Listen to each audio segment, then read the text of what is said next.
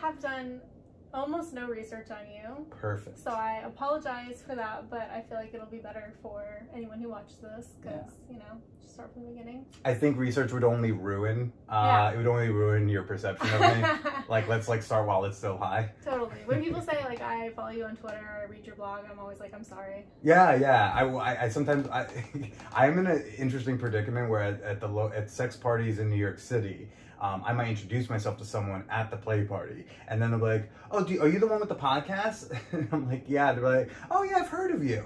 And then I'm always like, "That's either really good or Yeah. really bad." I'm not sure which way it's swung, but uh, hi. Yeah. uh, so it's like uh, people have heard of me only at Brooklyn sex parties. A good good crowd to be famous, semi-famous among. yeah, it's not bad. Um, so yeah, tell me about why you said. You started your podcast to interview people that you have dated. Yeah, I, I, I started in 2014 talking to like women I'd hooked up with about sex dating and why we didn't work out. So that could have been like one day or hook, like one brief hookup. That could have been someone we tried dating. That could have been an ex girlfriend. Um, I didn't really have ex girlfriends at the time because like the whole issue I was having was a lot of women were willing to sleep with me, but they didn't want to date me. Classic girl problem usually. Right, typical gender role reversal. I think that's also why a lot of women like connected with the podcast so early on because they were like, "Oh, like that that sweet boy has the same problem as me." um, but yeah, like I wanted romance, I wanted cuddles, I wanted all the love stuff. But you know, anytime I wanted to uh, escalate in a relation a relationship, she would always tell me she wanted to keep it casual. And the other odd part was it wasn't like they just lost interest and we're done. Like I would want to date, they'd be like, "Let's just fuck." and then they keep because normally when you bring up that that conversation if it's not compatible you go your separate ways. They were like oh no no no no no we're gonna keep you around. You do that thing i like that you do with the tongue but can you just keep the love shit to yourself? Can you shut the fuck up? That's what they want. Um they were like they wanted to use me not love me. So i just after it happened for the umpteenth time where i had this strong connection and then it's just like it could have, i was like let's ask them so it seems like you have not learned to shut the fuck up. no Uh, but No. did you learn anything useful? Did you see any? Have you seen any patterns? One, I will shut up if somebody interrupts me too, because I know that I ramble. I know that I can be long-winded. So like, if someone interrupts me, I'll be, okay, yeah. Uh, no, I've learned a, I've learned a lot of things. Uh, I think more recently I've been thinking about like my perception of the history is definitely not always maybe the objective reality, which is like that's a long lesson to learn. How many fights are simply like we both experienced the exact same thing in totally different ways, or like I forgot oh, I forgot that text message I sent. That one was really bad. I'm sorry. You know, so there's um I've been doing a lot of like self-reflection the last, you know, year and a half or two. Totally, yeah. I was watching Love is Blind, the like reunion episode last night. Okay. Um, because I'm a hip happening girl with a, with happening life and uh, refined tastes, and you know, I watched it not as long ago as it came out. I think I don't know. It doesn't feel like it's been two years, but um, this one woman was saying about how she doesn't remember what she did that other people, uh, this one couple in particular, doesn't like her, Mhm. and like it's on film. Like everyone knows what you did. We can go to the tape. yeah, um, but she just he, she doesn't remember, and I thought about how yeah I'm the same way. Like somebody will not like me, and it'll be vivid in their memory what I did, and for me like I might have never known Because we're all an unreliable narrator. totally, and I think that that's like kind of a level you get to in relationships where you realize that like there is no truth. You know, I feel like couples go round or people in relationships go round and round about this happened this way. No it happened this way. And it's like it doesn't matter and it there's no objective way it happened. Like something happened however many people perceived it perceived it their way and no one's view is the right way. And so like once you get past that let's establish the truth and you get to let's establish how we feel what Because we need. Because that's ultimately the more important thing. It's like, unless it's something like really monstrous, like the thing that we are arguing about whether or not it happened or how it happened, ultimately it's like, and how they make you feel. And it's like, if we, if I can let go of, if when I've started to realize I can just let go and accept, like, okay, I don't have to agree on the what, but like clearly there's an emotion happening. Let's see if we can do that. And that's like a skill set I'm hoping to like take moving forward, um, like uh, being in the dating world again. totally Yeah. And do you think that I feel like Not the sexiest answer. I'm so sorry. I wish it was just like I didn't eat pussy as well, and then I got better at it, and right. It's like then. But unfortunately, you started out amazing at eating pussy, and you just had to get better at just it. a just a natural. I had to get better at the emotion communication shit. You know, I will say, like, I have never been asked the questions that you asked me when you interviewed me. Mm. And I've never talked about that stuff on a podcast before. I mean, the vast majority of the podcasts I do are about politics. So, Yeah. um, that's part of it. Which we did get a healthy dose of. we did. And I thought like that might be a really good bonus episode I can clip out. In case you haven't got enough of Cathy's politics. Um, yeah.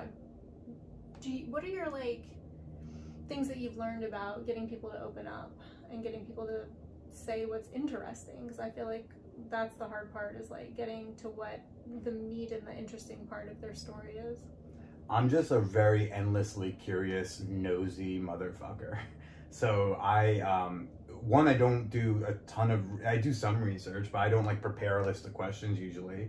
Um, maybe if they're like super famous and I, and you know, I, I want to, you know, like I interviewed a senator one time. I was like, I should write questions down for the senator, um, make their staff more comfortable that I have questions and not that, not be like, oh, I'm just gonna go wherever. Um, but uh, you know, outside of that, you know, I just try to connect and then just follow my curiosity from there. And I think it also helps where my curiosity is not about when's the first time you had anal, unless we're talking about something where like the first time you had anal would be relevant. You know, so it's like when I interview a porn star, you know, I don't really care about oh why'd you get into porn unless like it's it's relevant to whatever conversation we're having. So I just feel like if we can connect, and I'm just gonna follow. And um, I had like I could have kept asking like first time this, how'd you? But there was I was starting to sense some like emotion, and I think just like tapping into that was was helpful, so I can follow a way more interesting line of questioning. You know. And how would you or could you categorize that the things that you're curious about? Like, would you say, uh, you know, are they the things that people have big emotions about, or I'm way more curious about what you either haven't talked about, what you are maybe a little uncomfortable talking about, or what like clearly you're you wish someone would fucking ask you. Um, you know, ideally my show is is less like of an interview; it's more of a connected conversation, something we might have if uh, if there were no microphones around. Like my, I was at my friend's this weekend. She picked me up, and we are driving around a bit. And I, I will, I fall right into interview mode because I will, because I'm just curious. And like, you can interview me if you want to, but otherwise, I'm just gonna be. I'm gonna ask you like questions that are not like super casual on a casual drive to the grocery store. And so I think I like to take that into the into the podcast, and it, seems to work out because like you know get some interesting stuff out of it. what do you wish people would ask you? Anything. I'm, I am my favorite topic of conversation. So like doing a podcast where it's that's why I always like throw in. I'll, I'll set the tone usually where I'll, I'll tell someone you can agree with me. This because sometimes people want to be like a nice polite guest, and then afterwards like oh that fucking Procida. I, no, no, bring the fucking Procida part. That's more interesting to me. Again, because conflict tension is more interesting than you know the same question someone gets asked. But um, I I wish people would uh. I always throw in, I'll say that you can agree with me, disagree, laugh, cry, but I always be like, and you can ask me questions go for it. You know, it's uh, totally fine. What's something that you're, what's a conflict, an internal conflict you're working through right now? Fuck. Um, I've been doing like a lot of growth and change type stuff. Like, uh, I've been really curious about this whole the concept of restorative justice, transformative justice, uh, and like harm reduction resolution rather than like punitive shit. So, especially with like what you might call call out culture, right? So much of it is like you did this, you tweeted that. And none of it, it and some, and people will share how it made them feel, but they also are doing it with just the yell and the boycott or the uh, take them off the project. And I just feel like that stuff's so not as important as just like, well, what's going on here? Like, can we dig a little deeper and actually maybe solve something? Because like I think if we just like kick people off projects and we don't actually go into like what's happening, we didn't fix anything. It's like when we ban a certain word, someone's like, you're not supposed to use that word anymore. I'm like, okay, and I appreciate that that word like maybe makes you feel way, but also if you keep changing the word, the hate underneath it will keep migrating to new words.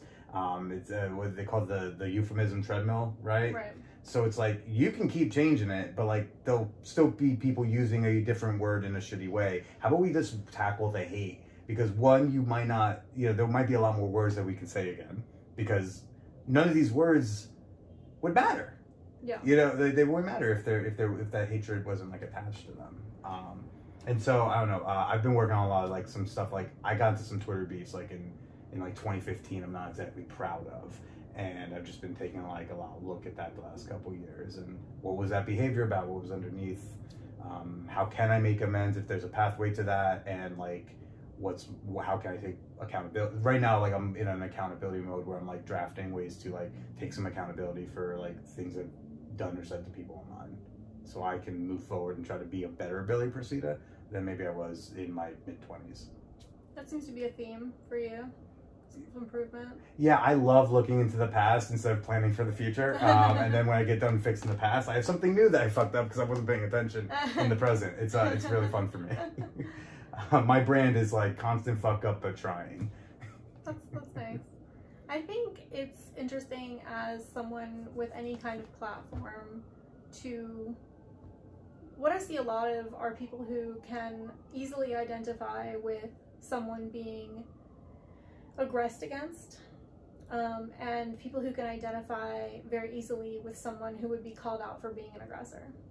Mm. Um, so like when you see people railing against PC culture or you know I can't say anything anymore, um, it's usually like white guys with platforms who are afraid of being canceled.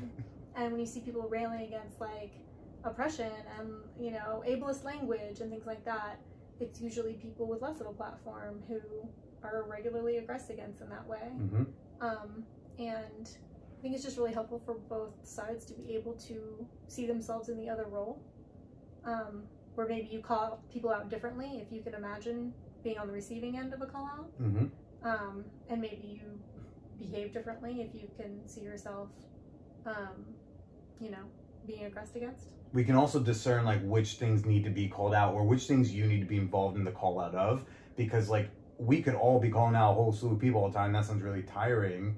Um, it's like maybe if you go like, do I need to join this call out, or is that going to only just is it going to have no effect and just you know cause me frustration? So uh, that that's another part that I think we can all like start working on is like, do I have to say something?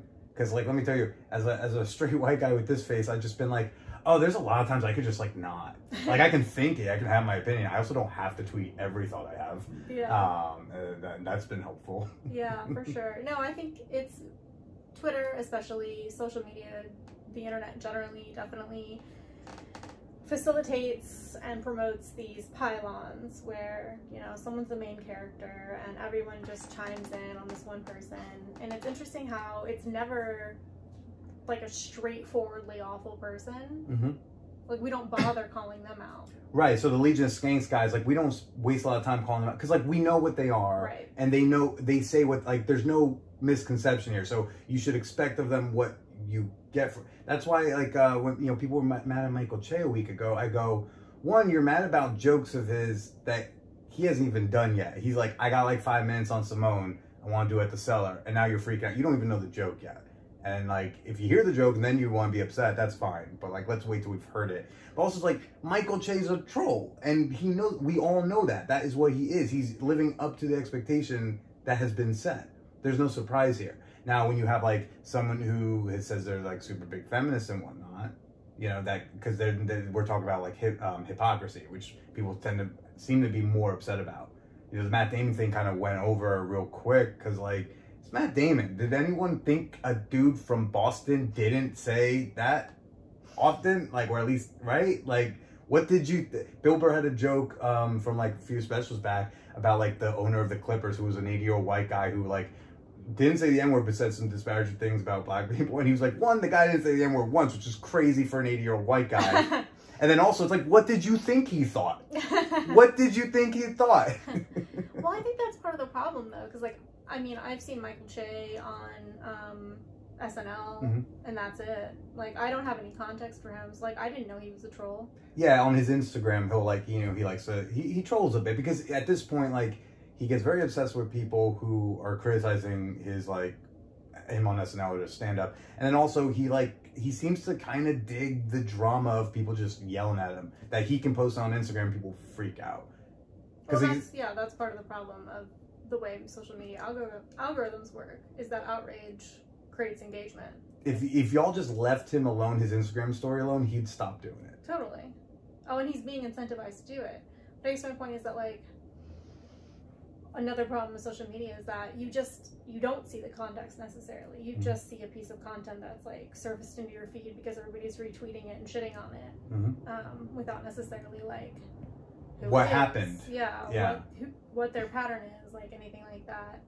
Um, I'll DM some people. Like if I know the person retweeting, I'll be like, hey, like I, I can't seem to tell what happened here. And that's even if I've chosen to care.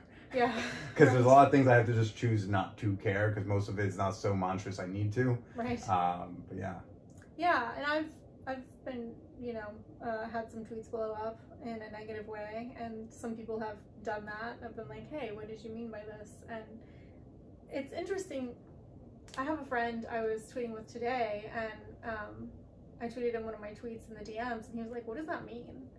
I'm like, "Oh, right. Like, what I'm tweeting is not obvious to a lot of people. You know, like you'll make a joke, I'm sure, and it's just like, yeah, this is what this joke means, and then people will be like, wait, what do you mean by that?" Which also, it's like I didn't mean anything. It was a joke. Uh, but it's like it says comedian. I know I'm not funny, but it says comedian in the bio, which is the context of don't take this as an. You know, Jim Jefferies has a great line in uh, from a few specials back called Freedumb and uh, Freedumb was the was the special, and he he said basically it's like there's a world of a difference between things that I think and things that I think are funny to say. And ever since I heard that, I was like, that is my that is my go-to now. If someone took something too seriously, I was like, I just thought those are funny. Those are funny words put in that order. Because isn't it crazy? The problem is we are living in a time where, jo- okay, so jokes require exaggeration. That's what makes a joke a joke. Um, so when like someone at the office is saying something like really shitty, um, I say, where's the exaggeration there? Um, fuck you. Like that wasn't a joke. You didn't write. You're just an accountant who just wanted to say a dumb racist thing at work. Fuck off. Um, but what you know, we are right now living in a time where a lot of the exaggerations are now the reality. So it's hard to exaggerate from there. Mhm. So like when you hear, you know, where where we have actual Nazis popping up again, Mhm. to say some like Nazi esque thing plainly without too much joke structure, without context of maybe a comedy club or a comedy special. We don't know. Like you'd be like, of course those kings. Like it's not of course anymore, Mhm. right? Maybe ten years ago you could argue, well, of course, not now because Right. not you know it's. So it's hard to exaggerate past that stuff, and, and so now people are taking things seriously because, well, why wouldn't you? Those are things that people are saying earnestly in other parts of the internet. Yeah, I mean, I think that I love comedy. I Mhm. love to make jokes out of very serious things. That's how my family's always dealt with, like, shitty things. That's just my nature. Um, I'm a free speech absolutist, um, you know, yada yada. Hmm. At the same time, I think the whole, like, it's a joke thing is usually, like, dumb and cowardly. It is cowardly. Um, I think if it's not done by someone who actually does things that are funny for like as their purpose, so to speak. Well, because I say that in as much as that's the that's a context. Like someone's No, job I- is a context. Yeah. So it's like when someone at an office job says some something But there's gatekeeping. I understand your point, but that's Right. also gatekeeping. Well, because I'm not saying that like you can't like you have to be a comic to make jokes. Just like you have to remember that if you're not a comic and you're just an accountant and you say something that's pretty shitty and there was not really joke structure and it wasn't much of an exaggeration, why on earth would someone think you were joking? But also, if you're a comic and you're, and this is what where I'm trying to go with this is like, you know, haha, trans people make me uncomfortable. Like that's, That's not a joke. right? But a lot of people who call themselves comics like trade on that. Right. I don't think those are jokes. So I still hold those people like I'll hold comics accountable to things. I just think that I hold them accountable within a context. So if all they said was like trans people make me uncomfortable, I'm like, sounds like trans people make you uncomfortable. Um, now, if they wrote a joke, like Chappelle's done some really great jokes. I think uh, Chappelle's done some great jokes that are very pro-trans that people want to yell at him for. And I'm like, because but all he does is hold up a mirror. You know, for example, he has this joke about the the L the LGBTQ in a car together, and how like the T's are in the back, and then the T's might say something like "I'm thirsty," and they all yell "Shut up, T!" and everyone and that's the because it's like all the other that's a that's not Chappelle yelling at trans women. That's a joke about how people in the LGBTQ community uh, also still can be super transphobic, right? And it's like holding a mirror up to you. So it's like if that felt a little too real to you, maybe you need to take a look at whatever letter you are and talk to your people. Do you think that there's any utility to the punching up, punching down distinction? I think that's a. I, I've never thought that was an intelligent way to express, not what you, not you, but like the concept punch up, punch down. I've never found that to be a, the the way to explain what you're trying to explain. It's very simplified and dumb to me. okay. Um, because like, what do you mean up, down? I'm we're you're too too many people who don't do comedy are thinking like comics. A lot of com- comedians are very amoral people. hmm When they say like they're truly trying to just find something that's funny that makes them and other people laugh, that it really is sometimes as simple as that. And Mhm. sometimes people make it way deeper than it is. Uh, I do, you know, like anyone can be the subject of a joke, um, but also like people will say something's punching down, um, and I'm like, you don't understand joke structure because like if you actually look at this joke, you you're missing who the the and you know who's the the butt of the joke. So there's a lot of critics of comedy who I don't think understand how comedy works. Um, you can like make fun of someone who like doesn't need to be made fun of, or, or I'm sorry, um, it is possible to do that and it's shitty. Okay. Is what I was trying to say. Like, it, yeah, someone has like capacity to do it, and I don't think it's like I think it's kind of shitty. It's like, well, why why do you need to do that joke? Like, it, it better be really really funny. Um, it's like, yeah, just the whole up down thing. I just it's like most people are just trying to punch. They're just trying to find something that's making a crowd laugh. Okay. Well, just to break that down a little bit, if you Mhm. don't mind. Please. Um, so we, we recognize that sometimes jokes have butts. Right. And Some are cute butts, some are not good butts, but they're butts. and we recognize that power exists. Mm-hmm. Um, and I'm not saying that you know, obviously, like my feminism is intersectional. Uh, you know, it's not the oppression Olympics, but all else equal, power exists. Sure.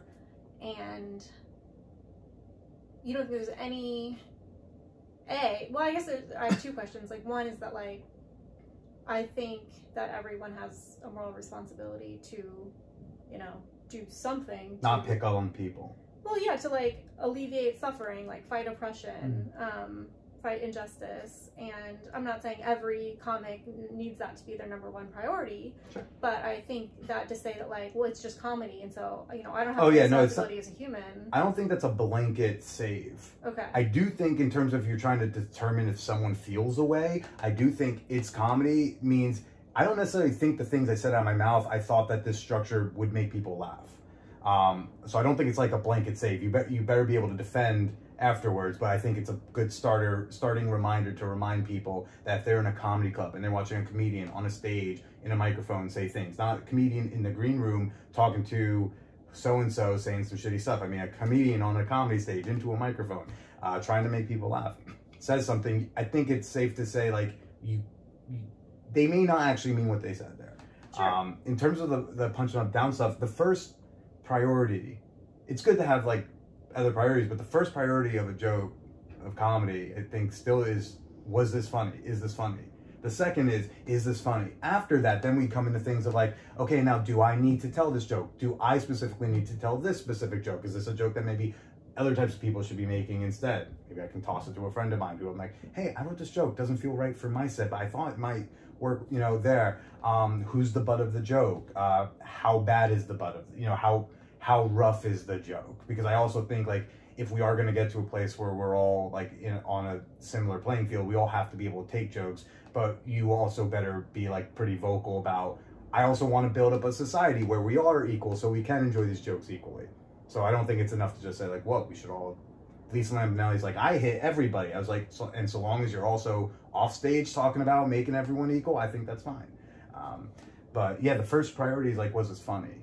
Uh, and and I think a lot of people forget to judge it on that. And you know, as society progresses, some things become not funny. Eddie, Mur- have you ever seen Eddie Murphy's Delirious or Raw? His old specials from the '80s. I've seen one of his old specials. I don't remember which one. They were when I was in high school, the fucking funniest things I've ever seen. Would quote them with the track and field guys all the time. We'd be at practice just yelling "Goonie go go!" Right, just like yelling some bits. I I probably went about five ten years without seeing Delirious and Raw, and then I tried to rewatch them, and it's really some of the only specials I've, I've I can't really sit through straight through. It's very uncomfortable because like when you watch Eddie on stage, Um, you know, he does. It's not even just that he says like faggot. Like he he, you can tell he's un. It looks like he's uncomfortable with them too.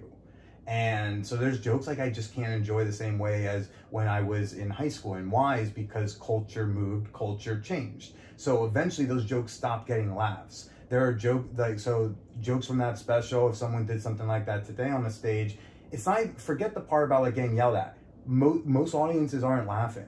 Honestly, if I say something like, "Oh yeah, that'll play well in the Midwest," that's like an insult of like, yeah, people who are still a little behind culturally will maybe like that. But it's like eventually people stop laughing and that's when you're like a good comedian and this is what jerry seinfeld was saying when people he, you know people misquoted him about the college campus stuff it's like a good comic will adjust rewrite and progress with that because they want to stay funny. The, you know it, it's not cute to yell into the microphone your homophobic joke that was great in 92 and then yell like i did that on the tonight show with johnny carson. What do you this is funny. Not anymore. Some things no longer are funny anymore. That's so so it's when you talk about like punching up punching down i think like as society moves as culture moves a good comedian will move with it and there so the butt of the joke will move as well I'm gonna challenge you please continually. So, totally agree. There are some comedy specials, many, most, that are cringy Mhm. 10, 20 years later.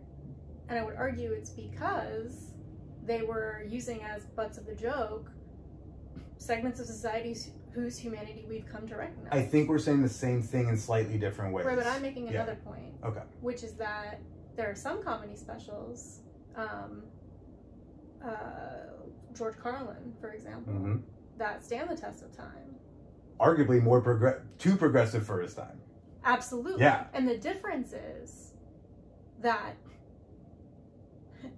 he, I'm going to use the, the phrase punches up. Like Mhm. he is critical of power. And that doesn't age poorly. But he's also critical of bullshit and just dump so he's also yeah he criticizes power a lot he also criticizes your everyday person Right. too right so yeah, and that's another example, like Jerry Seinfeld, Yeah. right? Like it's a little maybe dated in that it's become normal. Um, but like, yeah, the jokes aren't not funny because they're like cringe. They're just like, oh, like he changed comedy, and so we're used to it now. Sure. But yeah, I, so I think that's the difference is that if you're making comedy that in ten years from now people are gonna cringe at, like you're punching down. Mhm. Um, yes, and then is that not the free market of comedy where like when you stop you look, you can tell whatever jokes you want on that stage and they will you will get laughs or not get laughs. And if you are not getting laughs consistently, people are not gonna want to book you. So it's like if you want to tell your edgelord shit, like go for it. Like see how that does. Because it's probably gonna bomb, because it's probably not funny anymore, and then you will no longer be booked as often to tell jokes on that stage. And you'll start to lose that space to say whatever shitty thing you want. Now you got then you some get big enough they can create their own space, but like we can't control can't control where people want to gather twenty other shitty people to say shitty things. Unfortunately, you know. But it's like, but it's like I just think that the that the audiences and like the quote unquote com- the market of laughter, I think, solves that. I think it solves it eventually. I Yeah. think what we have to, we don't have to worry about anything. Like comics can do whatever they want to do. I would never try to get in their way. What I'm saying though is that, and I believe this about anyone who has any kind of platform, whether you're a comedian, you're a singer, you're a you know a writer, whatever, that ideally you will recognize that you have uh, an opportunity to move society forward or uh, you know hang out in the muck and that if you Yeah. like you said yes if you hang out in the muck and you use society's discomfort with or mockery of disadvantaged groups for laughs that will work today it will get laughs Not nearly as much as you think. not nearly as much as Like It it's it's to. not it's not popular. It's not fun. You don't get booked as much. You certainly don't get as much TV work. Um, it's like it's it's just not good for one's career to But- even do that. I think, I mean, that's true to an extent, but I think what we're missing is that, yes, society moves forward, but we have so far to go. Like, look at Tina Fey, for example, Mm. right? Like, she's still making jokes where sex workers are the butt of the joke. Mhm. People still like it. Because we're a fundamentally homophobic society. right? Comedians are mirrors to Exactly. society, right? So I don't think comics are like causing that. I think comics are I never the said they were. Oh yeah, yeah, yeah. So, so I just think they're holding up the mirror, and I'm all about like let's move society along, but th- not even for com- forget comedy. I want to move things along. And I just think that comedy moves with it. Sure, but you as a comic, But it's like sex work is not like a rights group that like people are nationwide like really respecting as a group yet. Unfortunately, right? Totally in agreement. So, so, you as a comic, you Right. can either say, okay, it's still okay for me to make sex workers about other jokes. I'm going to do that. I'm going to book tours. I'm going to sell books. And well, I but I, so it's like I don't do that because like I don't I'm think Not, yeah I'm not yeah, saying yeah. you are. I'm just saying like we're talking about comedy as a Yeah. concept. I'm saying you, you, the the you know royal you, uh, can either make fun of people who are currently still marginalized. That's going to work for you for for a period of time. Yeah. I mean, I think Tina Fey is already starting to see a backlash, but like, um, it's definitely worked for her when she's done it. And then ten years from now, people are going to cringe. You don't have that on your conscience and everything. Or you can say, hmm, like, is punching down at sex workers, is making fun of sex workers, like, what I want on the record? Like, is Mhm. that a, a societal trend that I want to, you know, mine for my comedy? Or do I want to look at, uh, you know, unfair power structures Mhm. and make fun of that? I think that the latter is the better comedy. Totally. and it's like okay like yeah like that's where i think it's at I, I- like i said i think we agree it's just like i just don't know what to do like someone has the choice to make do shitty comedy and like what am i gonna do about it? I'm just gonna like not watch that special. Like i you know i watched a Marlon Wayans special about 20 minutes in. I was like on the third tranny joke i'm like i'm good. I'm out. It clear you got some issues. I don't need to watch another 45 minutes to watch you do your therapy on stage of like why you think like I don't know how many more jokes about chicks with dicks you're gonna have like that where I'm like this sounds like between you and your psych dude. Like I don't need to be part of this right now. And so I just turn it off. And I don't you know I probably won't watch the next Marlon Wayans special if there is one Right. but I still will probably watch Don't Be a Menace in South Central while drinking your juice in the hood because God is that a funny movie. oh my god, I watched How High for the first time recently. How's it hold up? Um, mixed. yeah, um, yeah. The, the gay jokes in, in movies from that are fucking tough. Yeah, yeah. But so, so, so yeah, like I think the better look. I, I had a I had a story about the first time I paid, uh, or not the first time, but like a time in college I paid for what I thought was going to be a happening massage, and turned out to like just be a, like a escort type, um, like.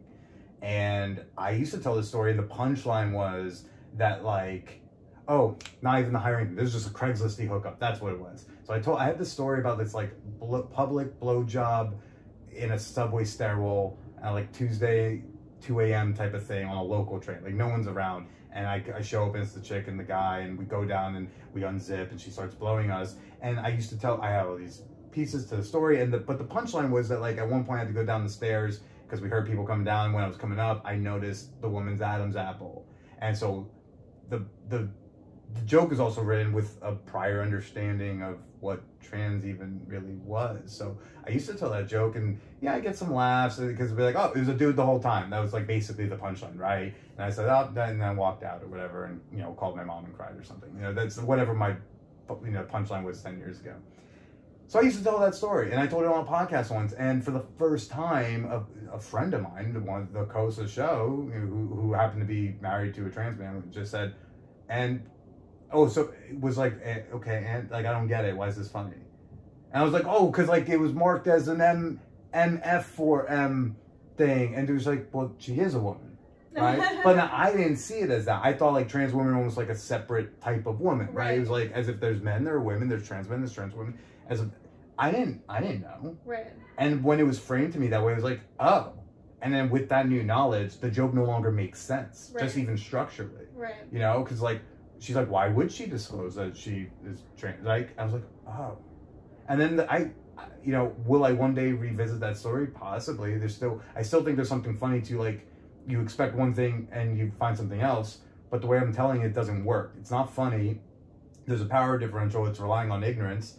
So i might find a way where i become the butt of that joke. Totally. because really what it is is I, you know, I thought one thing, oh, it was something else, and and I didn't have a freak out. Like I just when I walked, I at the event in the subway store, I just walked past and was like, hey, I'm gonna head out, and I just walked by, um, and I texted the guy, I was like, hey, I'm chill, but like you may want to be careful because like the wrong dude realizes that that could become like a hate crime in the moment, and he was like, yeah, good looking, and you know, get home safe. I was like, all right, cool. That was like the actual interaction. One day I'll find a way to make that joke funny where I'm the butt of the joke, but like I don't no longer make her the butt of the joke. and that's because like my understanding of things changed.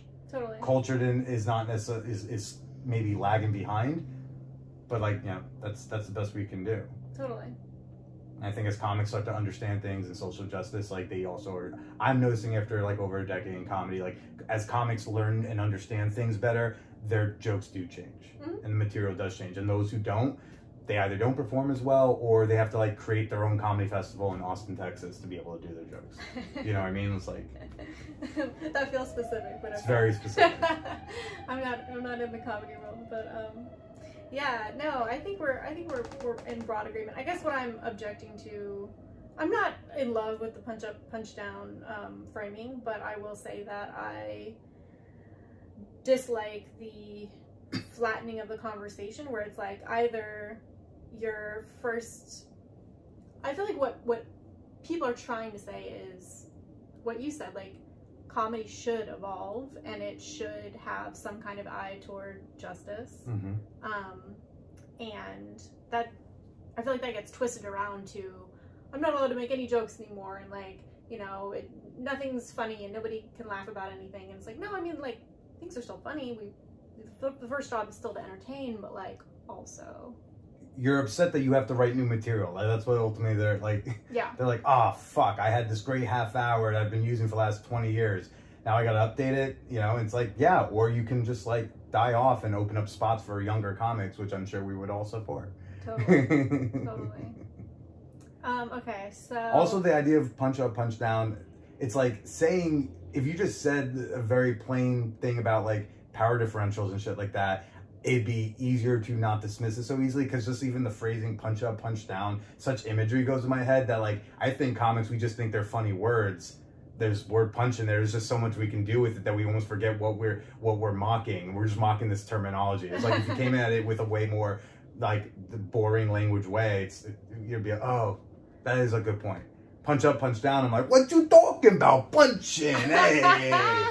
I'm punching all over the place. I feel like though if I said like I think that uh, comics and other people with public platforms should take power differentials into account when they're creating content. Yeah. That's accurate, but Mhm. I don't know if that would be any better engaged with, but I can try it. Sure. Yeah. I mean, like, I'll put it this way: it's it's harder to mock the language of it, and at least now they have to come up with a reason why to disagree with you. Punch up, punch down. Well, now we can kind of mess with and, and, and make fun of the word choice you had, Mhm. and never actually deal with the issue you were trying to bring up in the first place. Yeah, it sounds like a comic. Yeah. Yeah. Yeah. Because like Funny. truly, there it's a it's a largely amoral people. like in large mass, they're amoral. We just want to, you know, make jokes and feel decent about ourselves because we hate ourselves on the inside so much. So it's like we just see that. It's that's all I need. Is just get me a laugh and I can sleep at night. It's like and so we're not always thinking about that. yeah, I think the better comics think about it somewhere in their priority list. me too. Yeah. Yeah, I agree. Well, we've agreed, so we should move on. okay. um, let's talk about porn. Oh yeah. Uh, you make porn. That's a weird sentence for me to still like accept and say. Okay. Yeah. Why? Cause I'm a, I, I, it's like um, we live in a society that's so much about identities now. It's like I don't identify as like a an adult content creator. I identify as a comedian, podcaster, because that's what I've mostly been doing. That's what I identify with. You know, I fell into this like, oh, there are some people who want to see my where my dick's been too. Okay, um, so you know, I've even and even before then, like I've dallied, I've dallied against dallied. I don't know. I've been around in. I'm a fake smart person. So it's like I- no, really, because I've always I always took you to be like an actual smart lady. You know, it's okay. Uh, definitely fooled me. But I um, I've like done various types of sex work here and there in the past. Like in college, I I did I webcam for a couple years. I was making like 100 500 dollars a week doing that, like while writing papers, playing Madden. Did you show face? Yeah, yeah. Damn. I was like, I didn't care because I was already doing comedy, so. this can be more embarrassing than my sets. Yeah, I was like, what is what? This is gonna get out and just like like hopefully I get famous enough that th- someone would want to leak this, right? It's like it, it, I'd already committed, like I'm going all in on like not having a real job. That was early on, um, so I, I webcammed. I um, I did like a live in person stroke show in college once too. I, I was hoping I could get more of those where. It's like, come in, I'll just, and like, I just showed up. This guy gave me a hundred bucks. We jerked off next to each other for a half hour. And he was like, "Can you come in my mouth?" I was like, "No, you gotta pay more." He's like, "What about could you come in a cup and I drink in front of you? He's like I will come in a cup and you can go in the bathroom and you can drink it. You can pay me more and I'll watch you drink it, but like I don't need to watch you drink that. You're a Uh, natural sex worker. really? Yeah. Yeah. I just I just pay attention to the grades. Um, and then I've like I was a I was a FinDom for like about a year. Uh, FinDom Sugar Baby is kind of blended. It was like the first half was more FinDommy, and then we kind of made it more boyfriendy. Huh? Oh, this was with a lady. Okay. Uh, yeah. So she was in Dallas and I was in New York, so I actually never even had to do anything. I just The question stands though. oh, the question stands. Uh, I put myself there a lot and just can't. Like the man part really. I like uh, maybe I'm a little more curious about like dicks, but like every time I'm like actually really into the idea, it's always like someone really high femme or it's like Futanari, so it's not actually realistic. It's like cartoonish. Um, Okay. but yeah, no, the, yeah, no, I I'd try, but not not for me, the men. Not for everyone. Yeah. um, but yeah, I did the sugar baby thing for a year, and, and then um, and then and I've and I've had a lot of false starts, almost getting like escort work. But like I've had a surprising amount of like conversations that lead to just falling through. So would you do gay for pay? For look, everyone's got a number, and anyone who says there is no number would do it for like twenty bucks. You know, it's like, uh, yeah, no, there's always a price, and it's not like a million dollars, right? Because that's that's the guy who's just like trying to.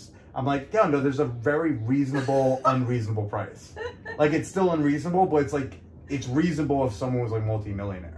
You know, like somebody wants to give me like ten. The closest I got was like I applied for a Craigslist ad when I was like 22, 23 for a live-in houseboy thing. Um, it was this couple, and I would have gotten free rent on the Upper East Side, and they wanted me to me to like live there, keep the place clean, um, fuck the hot wife whenever she demands it because she's just very horny, and the the and he travels and. And I'd have to also at like about 9 a.m. every every other morning. Let's just say half the month. Um, I'd have to get up in the morning and suck his dick. And for that, I would have gone free run on Upper East Side, free food, drinks, and everything, uh, and five grand a month cash. what? Yeah. Was they Um, looking for a woman? no, I was specifically looking for a boy. And and uh, this was a while ago. This is when I was really steeped in my gambling problem. Uh, but also had like no income to justify my gambling problem. like the gambling problem still manifests plenty in my life, uh, but it, it, it, it was most unreasonable there because I wasn't fucking making real money. uh, but so I I did my first interview. I did the interview via webcam, and he wanted to like watch me jerk a bit. Which obviously there's red flags of like you should get some cash for that up front. But I'm just like I'm gonna toss to the wind.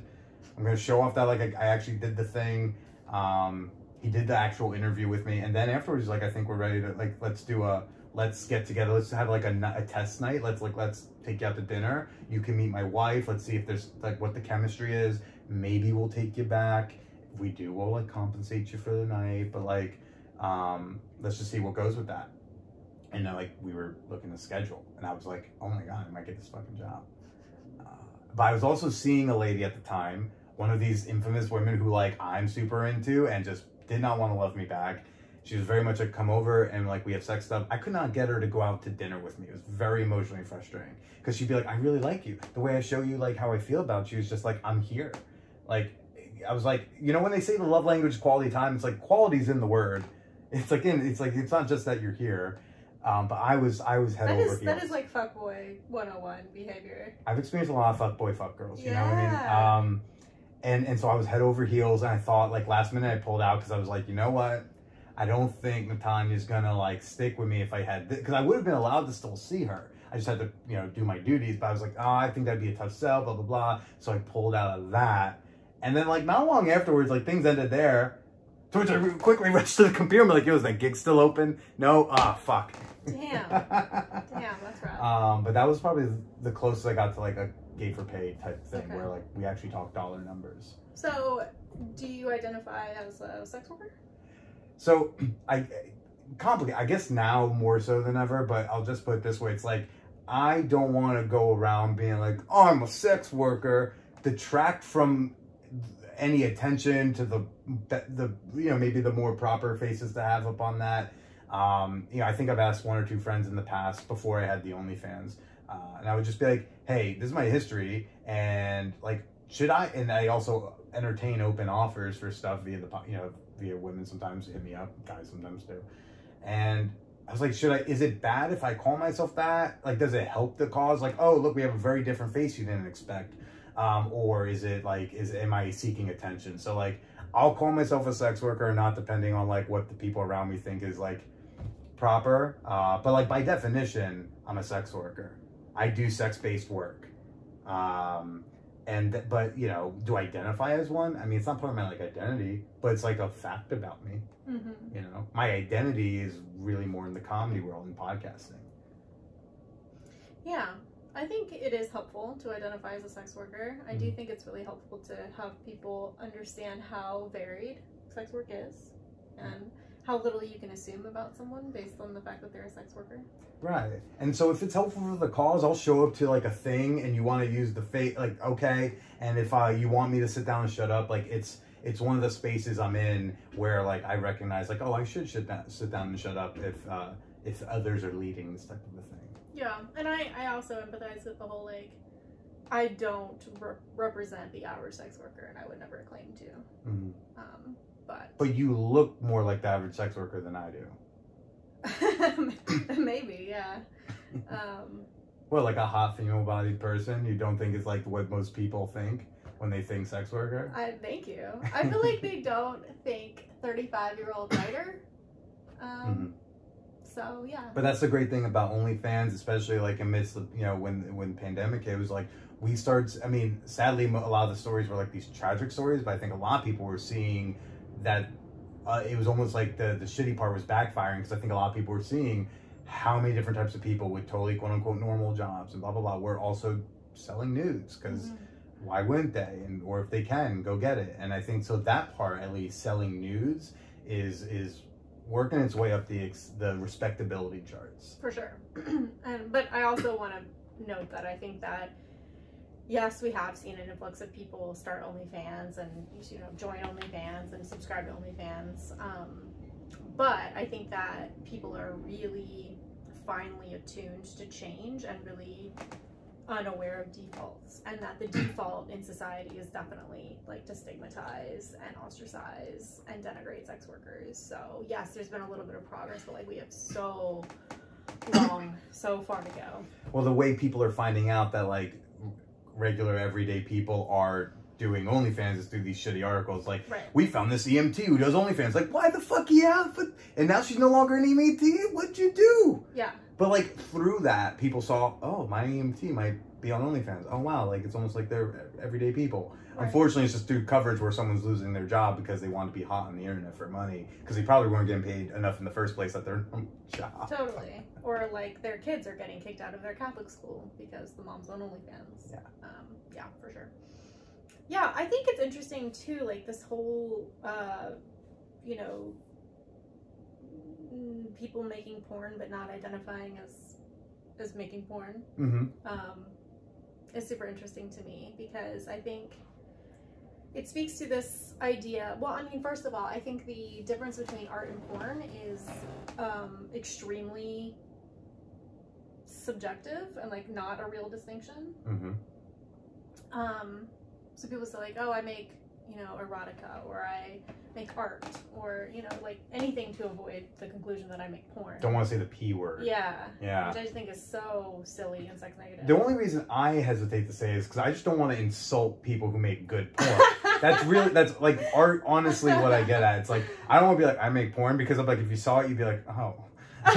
so I'm like it's really more out of respect than like a, some sort of homophobia. It's more like I just you can. It's like I. It's fine if you tell me I make porn. I don't want to say I make porn and then like, you know, den- denigrate a profession. I mean, yeah. Also, the majority of porn is terrible, and also the majority of art is terrible. The majority of most things are terrible, Right. right? Like that's what makes the great things great. Absolutely. Yeah. And it's also just so niche, right? There's anything you make, if you enjoy making it, someone wants to consume it.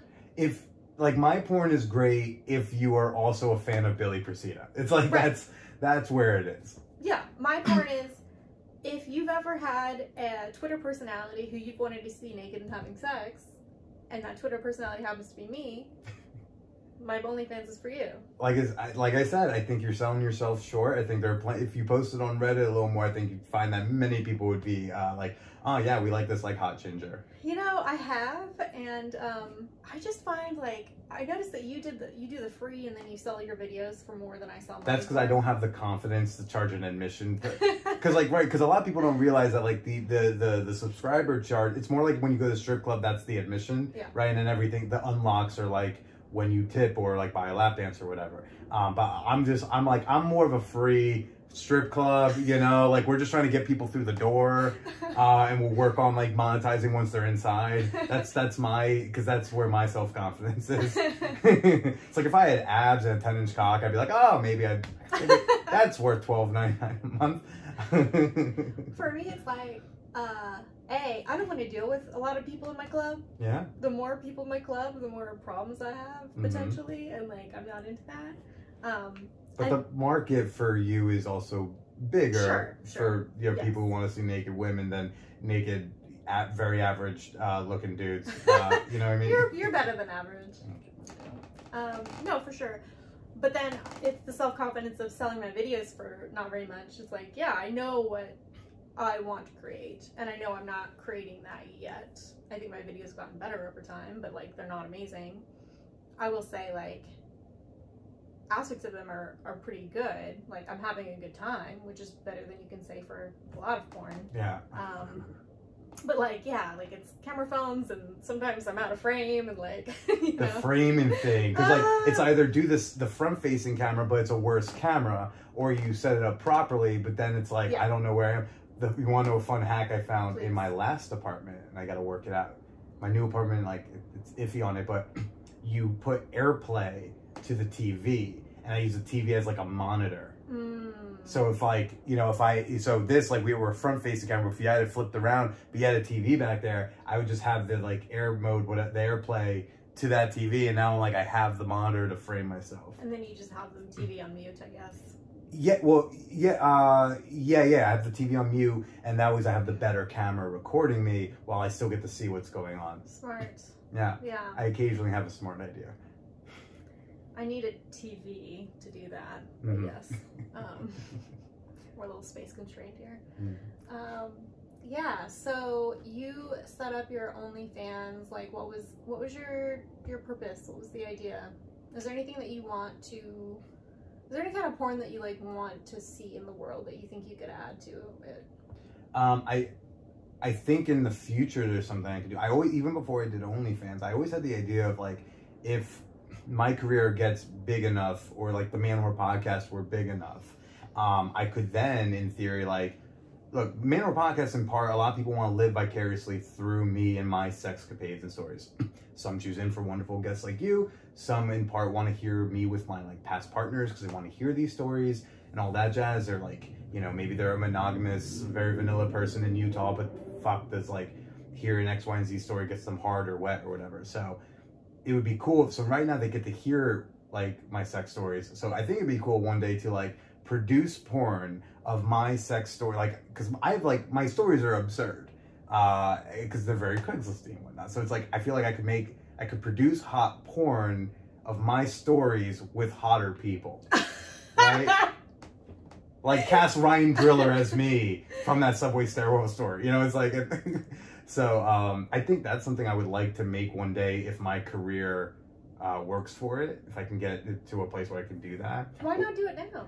Um, I, I I would rather do it when I think there's like a little bit bigger reach for that. Because also I think there's more capital needed. Because I would hire, I to hire the hot people like, and I would hire like, I would hire the porn. You know, I've I've interviewed a lot of porn stars, so you know I, I would love to just be able to call Ryan Driller and just be like, "Yo, hi, it's Billy again." Yeah, um, remember Man Whore podcast? Yeah, the, yeah. Uh, we were both fat kids, but like you got hotter and I got decent. Um, yes, uh, you want to like star as me in this? I here's the idea. You know, oh yeah, I know you walk into a fucking apartment that has been left completely unlocked, and you find a blindfolded woman there, and you are to eat her pussy and you fuck her and do all the things, and you leave, and she never knows what you look like, right? Like that's that was something I did I don't know, six months ago. Um, So shit like that would be fun I fucking love it. yeah, I love that idea. I, I I would love. There's a whole slew of things. Uh, fuck. When I got dumped here, uh, there's a great public porn I could I could have where it's like uh, the day I got dumped.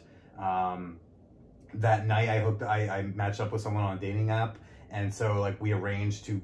I had to go find on. I Googled public parks you can have sex in San uh, Bay Area, which actually had a lot of great results. I highly recommend. But I found like some park somewhere in the like East Bay, and like at around like midnight, I went out there and I sat in this park bench and I took my dick out, and eventually this lady pulled up and she walked over and didn't really say anything. She just like sauntered over and she smiled in her sweats and looked really hot. And she just got her knees, and started sucking my cock. Amazing. And then later I got her on the bench, I started eating her pussy, and then I bent her over the thing, and then I fucked her there. And, Amazing. and then she gave me a ride back to San Francisco. What a nice, like, right? What? You live a charmed life. Yeah. So like those when I say like I have wild stories, I mean it's like it's that type of shit that like I range. A lot of stranger play, a lot of like interesting group sex scenarios, um, things like that. So I think it'd be fun to produce my stories with hot hotter people one day. Uh, and I would like to do that when I feel like I've got the bigger audience for it. See, I'm, I'm imagining something like Insecure on HBO, but like a porn. Okay. I think that would be incredible. Yeah, like I'm I'm down to to produce that one day. But I like would I would that. not star in it. you know, I'd be like I'd be a Yeah. I'd be a writer. Yeah. Um, I've never written a TV show, but like I feel like I could write a porn. oh man, erotica has actually been super hard for me to write. Mm-hmm. Um, it's it's interesting. Yeah, I would love to do like a. I love television, and I would love to do like a series that's like semi autobiographical, but also as a porn. Um, that would be incredible. Yeah. That'd be super fun. But in the meantime, I just want to make porn that's like, yeah, authentic, Mhm. where I'm having a good time and they're having a good time, um, and like is well lit. That's what I'm going for right now. Yeah, the In lighting. frame well lit. That's the cha- well. There's lots of challenges, but I agree. Yeah. For now, I'm just like you know, I'm I'm the OnlyFans in part is helping me feel better about myself because like instantly I got a boost in my bodily confidence because like now there's a dollar amount assigned to my body.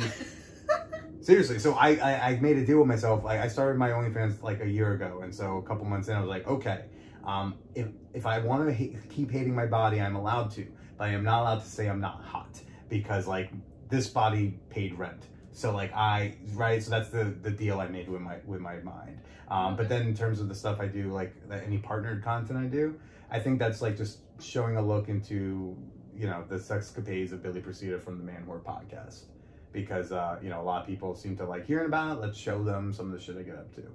Um, yeah, I, and I don't do stuff like like crazy produce. Like I, I'm not really like fucking a lot on camera because I don't know that I'm comfortable doing that yet. So I do a lot of other fun stuff too. I think you and I are kind of similar in that like we have our like passion project.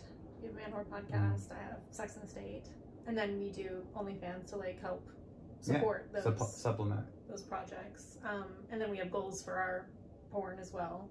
Um, what is your goal for Man Whore podcast? Keep getting keep getting big. Uh, you know, I, I want Dan Savage to have to call me. That's that's where I would like to get it to. Do you want to be big for the sake of being big, or like is there some impact you want to have? Um, I don't think they have to be totally mutually exclusive. Uh, getting big uh, uh, gives you the ability to do other things. Mhm. So the more people you have, on top of being able to support oneself, just you're also able to do more. You're able to get these types of people. Um, so I, you know, you want a show to get big, so because it shows that you're doing something right, Mhm. right? The, as it grows, you're like, okay, these were good decisions I made. Mhm. Uh, and then in terms of like, you know, I try to hesitate from like having a mission because as soon as you have a mission, it's just real easy to like point. I don't know. I I just wanted to share, overshare publicly on the internet. It sounds like it's been helping some people. Some, you know, that's, We're like the same person. I'm very into it. It will be great. I would really like to make out with myself one day. You know, I always wanted to.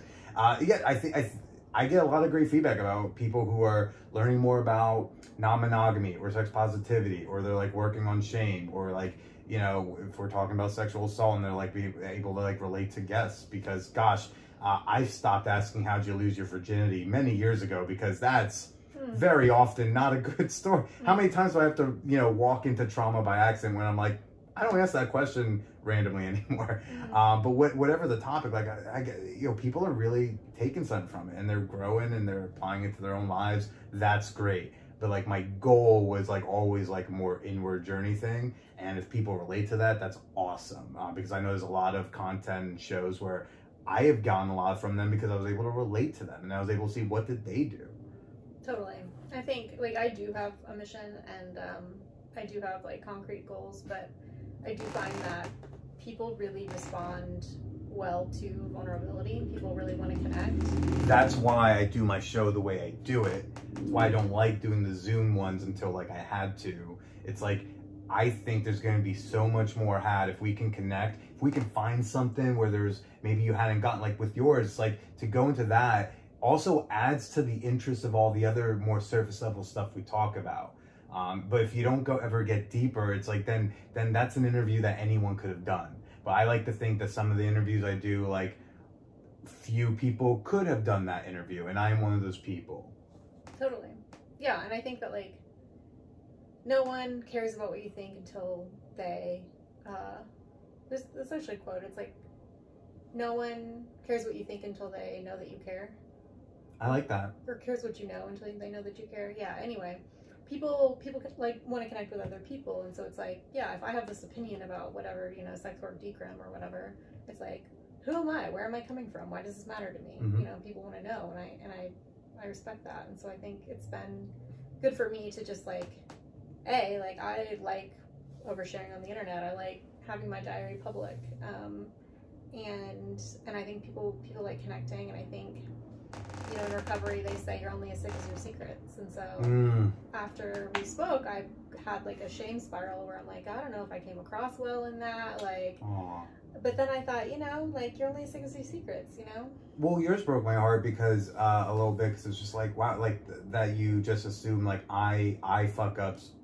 I don't know if you feel this about all partners, and we don't have to get into it, but just like when when you're like I don't want to fuck up his his shit, and I'm like it's like this assumption of like Cathy fucks up people's shit, and Yeah. like that I was like because that's that's tough to date with that thought of yourself, and, and I I don't think that I hope that's not the reality. No. and uh, and so it's something I hope you get to break out of because then you get to go enjoy more things. But I think that's so much cooler than talking about just telling us the story of the relationship, you know. And that's why we get deeper. And that's when when someone's plugging books, sometimes they'll be like. Hey, so we're gonna talk about the book. I'm like, I mean, we can, but I think this is more interesting. If they like you, they'll get the book. You know, if we just talk about the book, then they have to like be into the topic of that book. But if we, if they like you, they might get the book even if they didn't think they were gonna want to get that book. Absolutely. Always, always. Yeah. And it's all about narrative, and that's something I'm trying to get better at as well. And in terms of goals, like I have causes and things I'm like passionate about. I just try not to make the podcast about them. Like sex work decrim, comprehensive sex ed in schools, gender equality, queer rights. Like those are things I've always just believed in and were common sense things to say. Now, like uh, I think stuff about masculinity is starting to get in there too, become very important because of like what I've been going through with myself and like things I've experienced. And and so the, goal has a lot. Of, the podcast has a lot of opinions, but I wouldn't say they're necessarily like a mission statement. But like God, I will not shut the fuck about up about some things.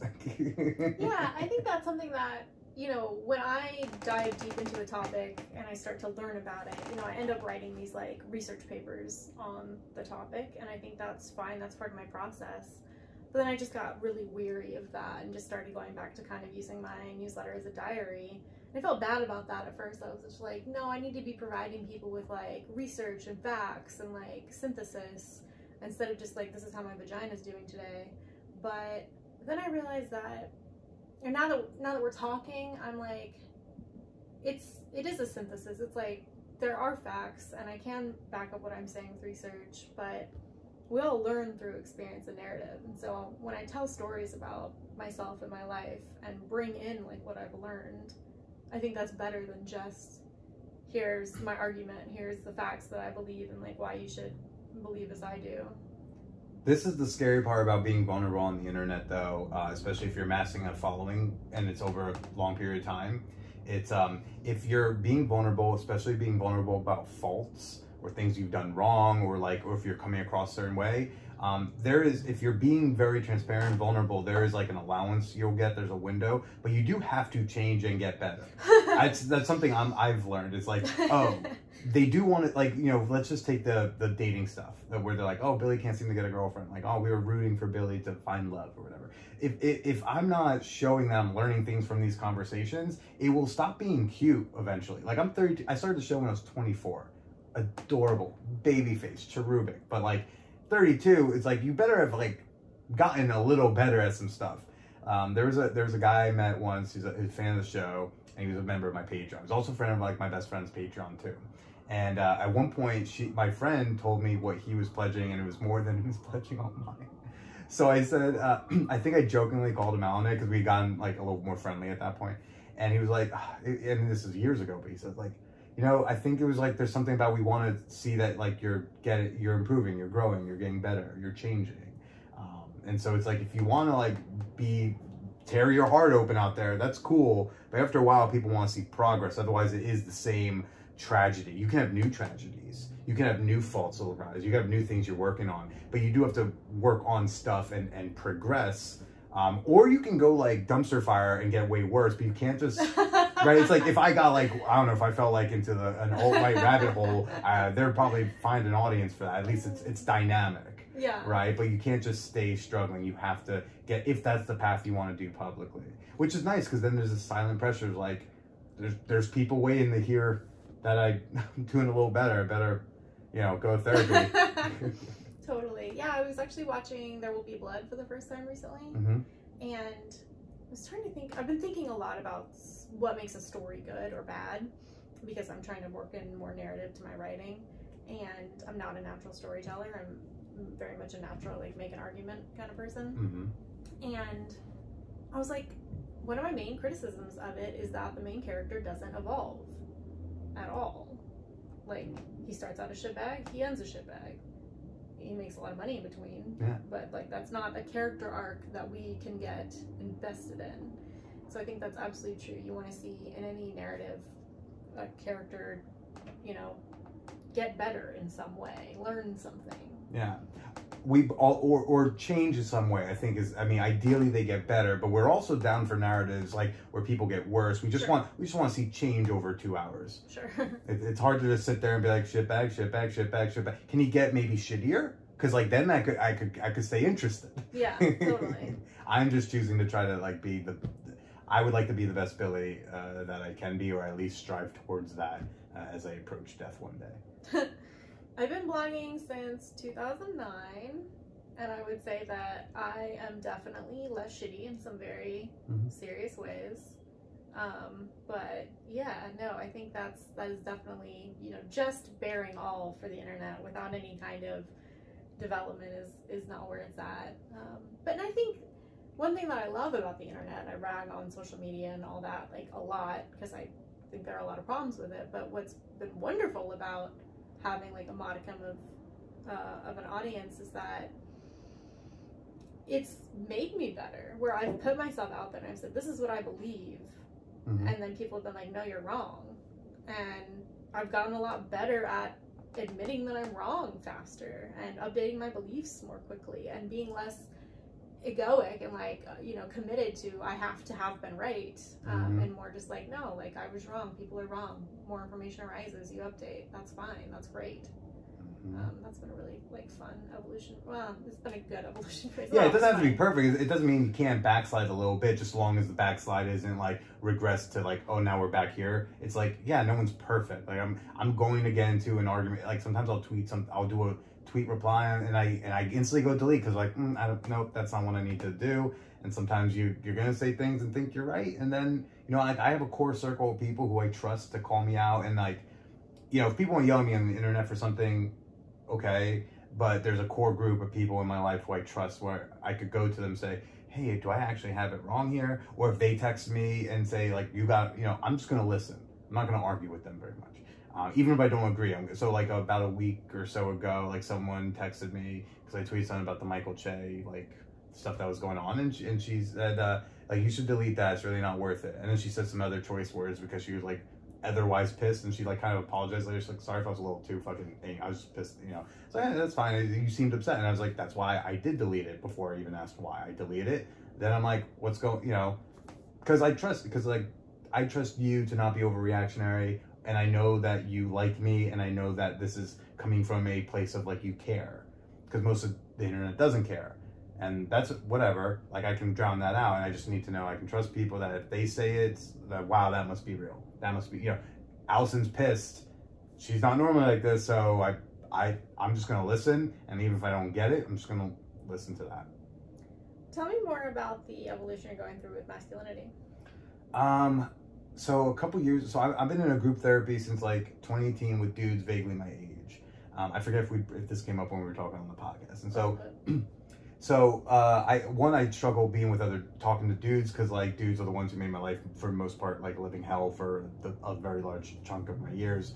Uh, my trauma comes from just like, boys being boys. Uh, so, but I need to get into a therapy and and this one uh, presented itself. So I did that, and about two years ago. Like not long before the pandemic, like fall of 2019, I remember we started like really getting to this concept of like good guys and bad guys and how a guy in his head will go like, well, I'm a good guy. I'm one of the good ones. So when there is a criticism that possibly challenges the paradigm of I'm a good guy, well, I couldn't have done that because like I'm one of the good ones. So it must have been something else or you got it wrong or this, that, and the other thing because I'm a good guy and good guys don't do bad things. So I now must fervently defend and possibly harm people in the process on top of any harm maybe already caused. I've got to defend this image. And then you know my, my therapist started introducing us to this idea of like we're both good guys and bad guys at the same time.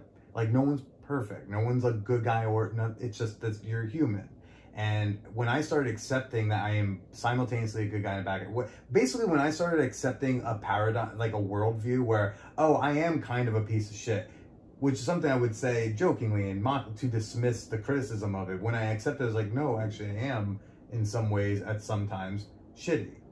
And at sometimes, in some ways, I am great. That's when I was able to, it was the first, it was one of the many uh, doors that had to get unlocked for me to go down this like path I'm trying to go down. I was like, oh, so if it's because it's also with that idea is that like it's also okay that you are part good, part bad, right? Uh, so I'm like, oh, it is okay I'm part bad, so I don't have to fucking you know, defend anytime someone wants to challenge the idea that Billy's not a good guy. It's it's okay. On top of it, I might learn something and then be able to fix it, and then be maybe a better version of me. Just free, because now when someone like criticizes, um, even if I disagree, I can go like like thank you. You know, I don't have to think that it's challenging who I am. Mm-hmm. And sometimes I can even go like, ah, like well, well, what if they're right here? Let's just explore. it. Let's pretend I'm right. I saw tweets of somebody somebody made back in like May. I, I, I shouldn't say stumbled upon. I was I was looking. I was looking to see like oh is someone criticizing me. Hmm. Um, found found some stuff from from from an old thing, and I thought, wow, okay, how about she like the the wording? It just seemed like she was still traumatized by it, and I know I'm traumatized by what happened. And what happened was something I caused because it's on Twitter it was me and my fucking dumb thumbs. And, and so I was like, okay, so like, what if either she's like really holding on to a goddamn grudge or maybe she's actually traumatized. I know I'm traumatized by it. So like she could probably be traumatized by it too. And so these other people probably could also be somewhat traumatized by it. So like let's just explore that. Let's just like let's try accepting it. Let's try on the shoe. Let's just see. And then I was like, oh fuck, that it does make more sense if she's actually traumatized. All the other stuff makes sense. And that's like a bit something I've been reckoning with for like, you know, a good chunk of this year is like going through that and being able to say the words like I did the thing, I did, the, I said this, I saw those screenshots, that was me. Um, one guy in the therapy was like, Billy, I mean, he was saying it in a more dismissive way, but he had a good point. He was like, um, he was like, okay, why can't you just say like, yeah, yeah, I harassed her, and, and then wouldn't that like cease the criticism? Like, wouldn't somebody be like, like he was trying to get to like get people to deflect. But I was like, oh, that's actually a good point. what if I just said, yeah, I did that? Because I did do that. So why don't I just say that? the first time I said it and the world didn't end, um, people didn't like massively unsubscribe from the podcast. I was like, oh, okay. Like I can just say that. And like it's something I know I'm not doing and I haven't been doing. I've been changing the behavior and working on things that cause that behavior. And then I even started doing like, where else has that behavior, the cause of that behavior, been manifesting elsewhere in my life? And I found a um, in my booking practices for the podcast in the especially in the earlier years um, with my past uh, past hookups, I was able to find some stuff there where I was like, wow, I was being shitty here too.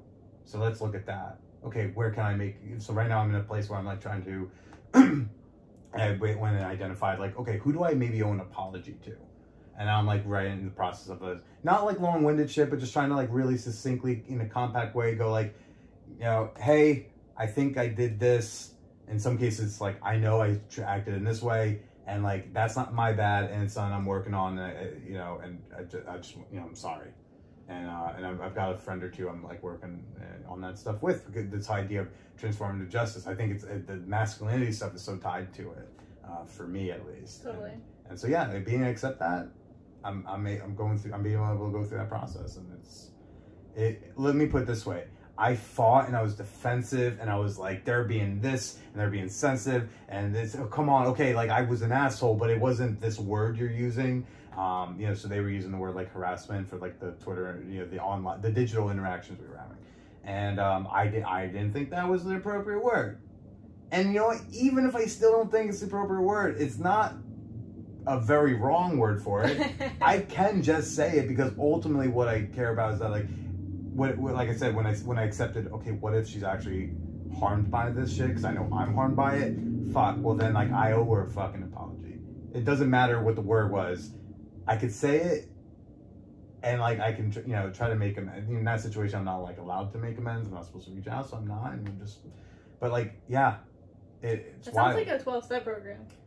Um, you know? Anything to avoid Gamblers Anonymous, because uh, like that's a twelve step program I don't want to do. But I will say that once I stopped being so defensive, I did feel I feel so much more peace. Yeah. Like I fought for many years, found no peace. I am accepting, and just in like the span of even months, I am like you know a, a year or so, months, six months. Like I am, I feel so much more peace about it, and I feel like I'm not guarding this secret that is going to explode on me, but rather like something I'm working on, and you know the way I'm choosing to do is like I would like to do in a semi-public way, um, and be able to like take accountability for what I did, and that way I can move fucking forward. Totally. Yeah, I remember I was in some. I do normally talk about like uh, my my days as a Twitter troll as foreplay. Uh, Small. Um, yeah, I remember I was arguing with some like right wing people on Twitter, and they I guess did like um you know, a search of my account for bad words and found a tweet of mine where I'd used, uh, I want to say a homophobic slur. I, I, I don't remember exactly what it was, but you know, they brought it up and it's like, this you? And I was like, yeah. That was, I don't know, 2015, 2013. Um, oh, we were problematic in the same years. Yeah. Sounds like. I mean, I'm sure I'm problematic today. 2015 was like a, just a really tough Twitter. yeah, so struggle, struggle years um, yeah, I was just like, yeah, that was wrong of me. I'm sorry uh, to anyone I offended. Like, I deleted the tweet and, you know, and not to erase it. There are screenshots. Like, I'm not going to try to pretend like it didn't happen, yeah. but just like so other people don't get offended in, on my account. And, um, yeah, it took the wind out of their sails. It's just like there's nothing more to really say right. unless like you can identify a real big pattern of behavior. It's just like, oh well, at least you know it's kind of, you know eight mi- so you know in a way it's almost like eight miling oneself is, is, something I'm trying to do where it's like let me just like take care of this on my own because it's something I need to take care of anyway. And you know what? If anybody else wants to criticize, I, I can be like, yeah, what you got? You got anything else? Okay, cool. Because I'm like trying to do some things over here.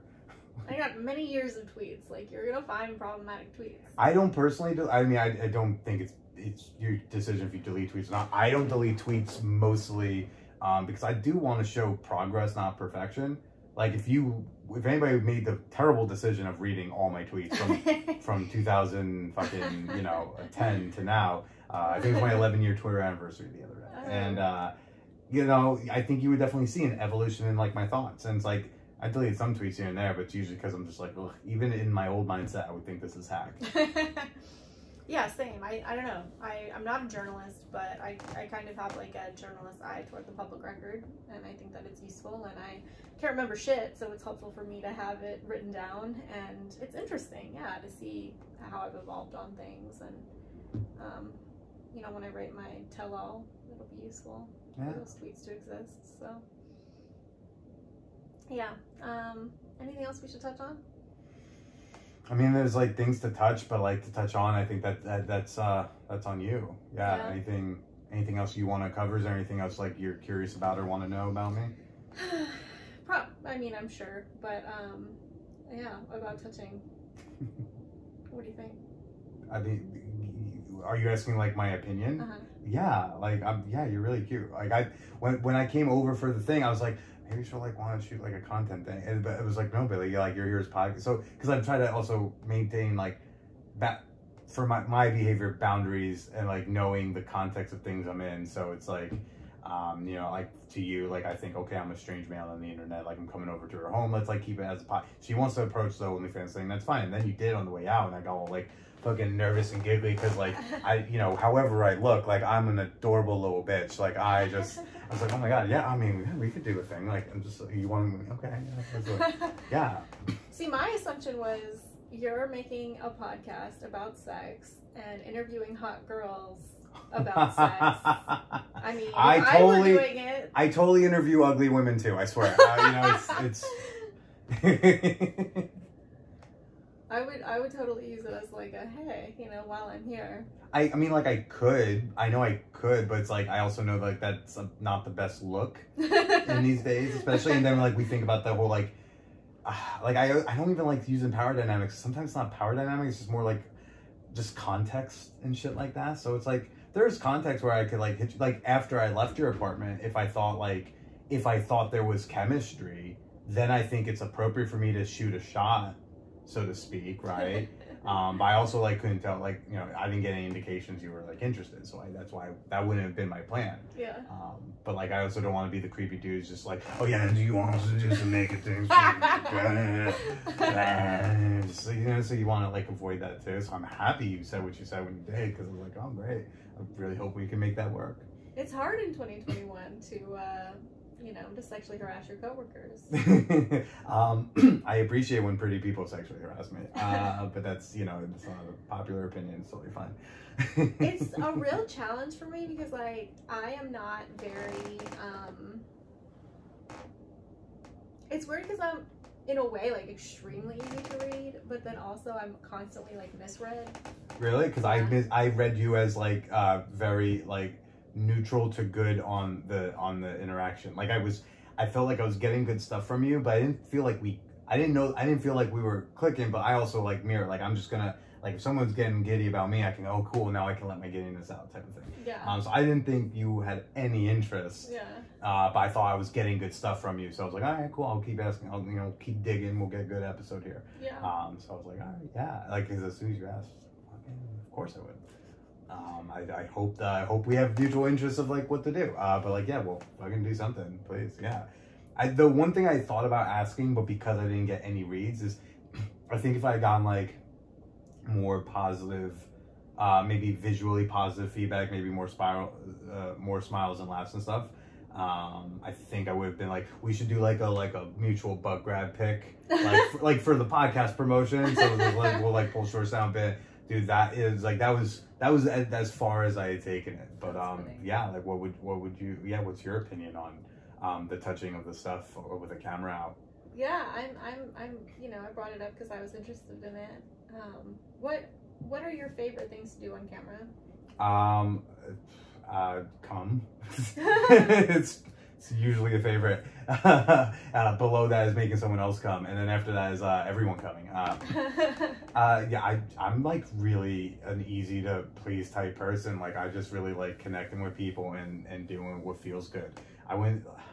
I can't say I'm not kinky anymore because my friend did tie me up with leather straps uh, two days ago. So I was like, yeah, Lindsay, I don't think I can say I'm not kinky, but I wouldn't say I am like a actively kinky person. But yeah, like I honestly like what what, what I'm so much more interested in like what you had in mind when you when you asked or what it is you would like to do with me because um, that's I, I kind of mirror and I'm a big pleaser type. Hmm. Even if I'm taking charge in a situation or if I'm like really putting on a dom mask, so to speak. It's like I'm doing it because I know that's what she wants and what she's really into, and so I get really into it because I know that she wants me doing this fucking uh, thing, right? Mhm. Um, but if that's not something that was like shared or something I'm sensing from them, like I don't, doesn't do it for me. It only do it for me because they're so excited. So, Mhm. um, yeah, I just I like touching, I like kissing, I like licking, I like being like I like being stroked. I like all, I really like a lot of the basic things, and then there's even some extra things I can get really into if, uh,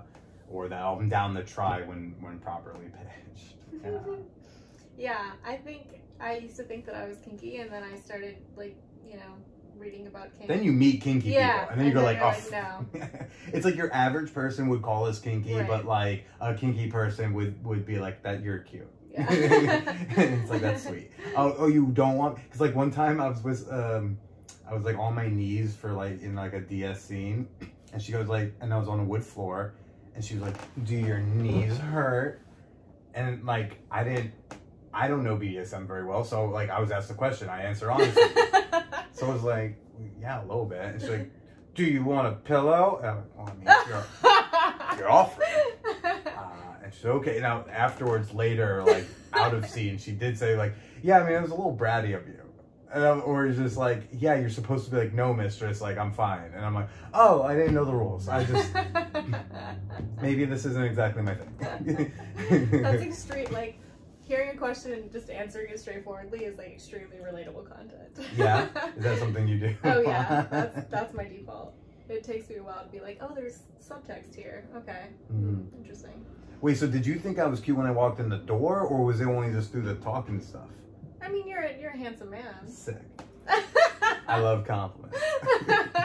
That's why I say on my OnlyFans, I'm like, if you're not giving me cash, you better give me some damn good compliments. oh, that's why I started it. Like the cash is nice, but yeah, for sure, I am all about the validation. Yeah.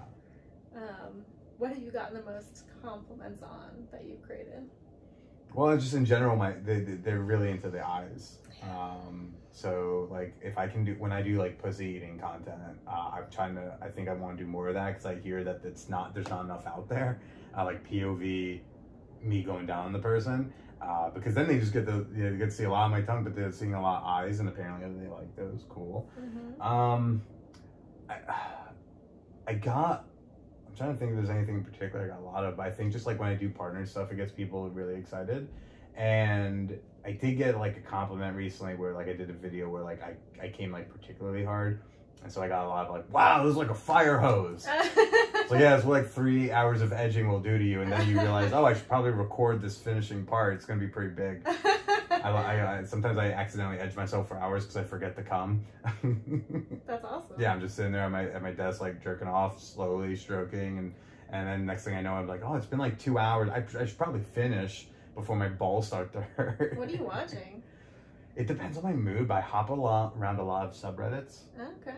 So also like not for nothing, like I was kind of like prepping myself, um, like an hour before I got here, and like had a little like twenty minutes solo time, and I didn't come or anything. Just want to get myself like nice and excited, and I was really just like reading personal ads here in San Francisco because those are hot. Huh. I never Um, thought about that. or like giving myself the con like I didn't plan on responding to ads really, but like just the thought of like, oh, I might respond to this ad. That was like, oh, this might be something I would yeah. go do. Um, Potential was very hot. potential is very very hot. Um, Futanari stuff has been like kind of very interesting. What is it? Futanari. So Futa is like it's usually cartoon, and it's the idea of it's like it's usually some kind of like high femme person, um, and they have like you know, she'll have like a like a monster cock, like a something that's not believably big, and then she's fucking so. And then sometimes they're creatures or an animal or like semi humanoid esque, and sometimes it, it's just like a really like almost like bimbofied trans woman basically with like you know something like as long as the whole arm, and then she's you know a, a, a trope and it would be like fucking someone from the side and then they'll show like the inside of the of the cis woman that they're fucking and they'll show the dick and like they'll show the vaginal canal and the dick going up farther than actually is is correct but hmm so that's been hot. Um gentle femdom's another uh subreddit i really like. Hmm. um because it's very adorable. What is it? It's it's like very cuddly dom stuff. Okay. like, Um, what's an example? uh, can, can I can I do it? Can I Yeah, sh- can you definitely. can you come? I'll pretend that you're me and I'm I'm the dom lady. Okay. I'm, So come yeah. uh, come uh, into my arms, like you're your back to me, like Back way into you. me. Okay. Yeah. So my I might be holding you and then like also jerking you off while it's like petting your head. Oh, That's nice. yeah. So you're gonna come for mommy type stuff, you know. Um, so that's like an example of a femdom, a gentle femdom or something, just something where it's like it's femdom but softer. Okay. It's cuddlier. okay. Um, almost like the aftercare images will be hot Yeah. and they're also typically cartoons. Um, Oh, okay. I, I mean, if we're talking about the body type subreddits, I'll go to. I mean, you love Arthic, uh, Gone Wild. I like public stuff, uh, Glory Holes, Group Sex. Um, I love uh, Hold the Moan is good ones. Public. It's like a public sub sex subreddit. You gotta hold your moan. Mhm. Someone's gonna hear you. Um, Mhm. someone's sleeping next to someone. You're fucking someone. Next, you know that type of stuff. Nice. That's really hot. Um, glory holes got hot during the pandemic. I had a glory hole at my apartment. it was quite successful Where? in my apartment No, because but like. In Bushwick, uh, No, no, I- like we want want people. It's it's it's currently not up anymore, but You, so it was a board. okay. So I did a curtain, Okay. uh, but so my apart the my last apartment was two floors. I had the whole basement, right? okay. um, and so it had through the laundry room a, a door to the to the street. So in theory, I could like prop open the. It's partly why I got the apartment because I just it was the first thing I thought of. was like I could put a glory hole here. Is like so if I prop open the door to the street and my door, uh, and I give the person instructions, like they could come in, and then I had this hallway that was just mine. And the hallway opened up into the bedroom space. So I hung a curtain where the hallway opened up. So someone can, I prop the doors open, they can come in, kneel in front of the glory hole, suck my dick, and leave. Hmm. And then I just like hope I don't feel a beard, you know? It's like, Mhm. Uh, and it was pretty great. It's to the point that uh, one of my repeat visitors, uh, she ended up doing the podcast through the glory hole. oh my god, I love it. You want to love her for a moment? When I pitched this and we're finalizing, she like, and it was like a day or two before, she's like, just like, is it, would you be okay if like I blew you one more time as a stranger before we started? I was like, That's adorable. Right. Oh my god. So she came in as she normally did. She sucked my cock, and I actually turned on the recording. I turned on like the mic, like as I saw it, felt like I was getting close because I want to capture the orgasm on mic. So like I come, and then you know you don't hear. There's no cutting. Like you just hear us pretty much like her clean up. You you can hear that we're getting ready, and like I sit down, and she had a chair on that side as she pulls up, and I stuck a microphone through the hole for her to hold, and then we talked for an hour. I didn't know what she looked like. She didn't know what I looked like. She didn't even know the name of the podcast she was doing, which is hilarious because I had Manwhore podcast like like live show posters in in that hallway. She thought this is hilarious, and I hope but you were a super fan? she thought I was a fan of something called the Manwhore podcast.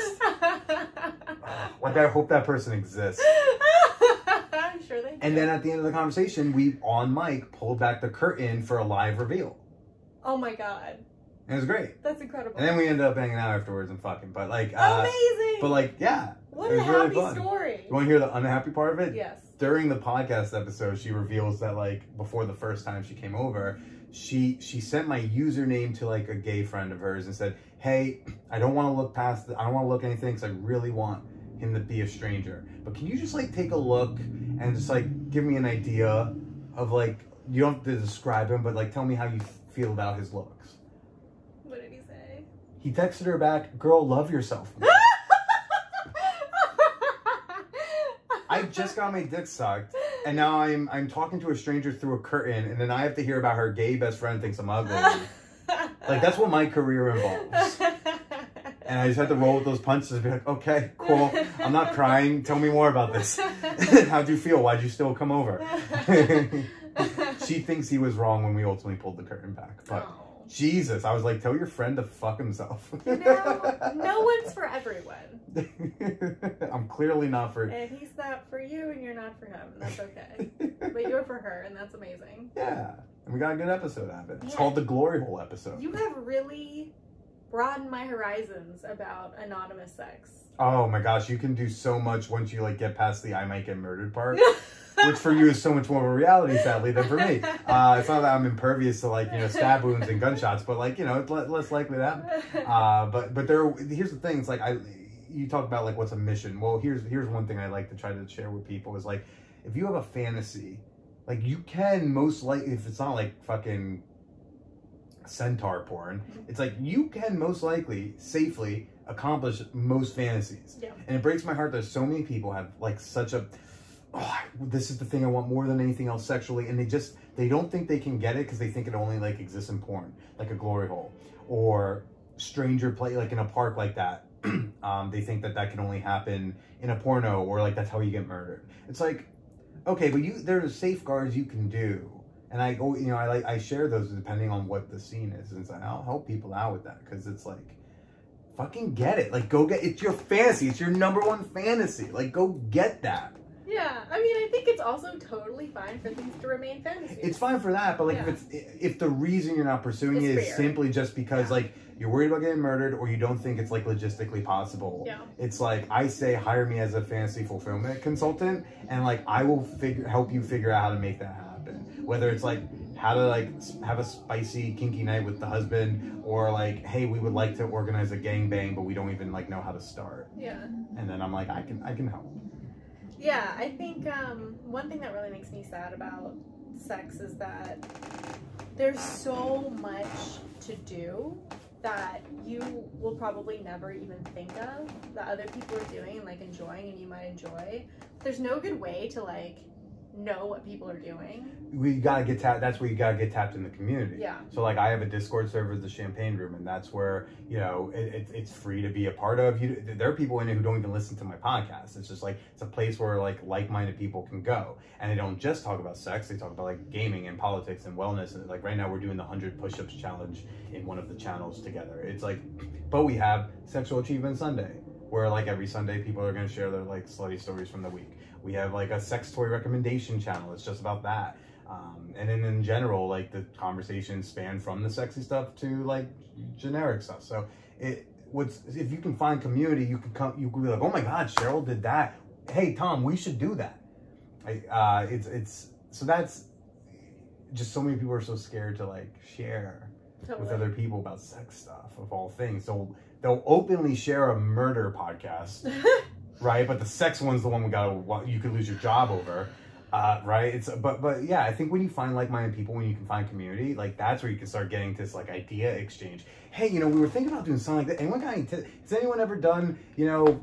handcuffed to a, a, a bar on top like hanging and what kind of bars have worked out for you guys is there a type of plumbing i should avoid like oh we have these types you guys think this is safe like Yeah. that's where you can start doing it. If you find like-minded sluts, you can uh, you the, the the the possibilities open up. And you're doing the Lord's work as a community like organizer and moderator. Like moderators are the unsung song heroes of the internet is Mhm. my my take. Um, anyway, do you want to make out? Yeah. Okay.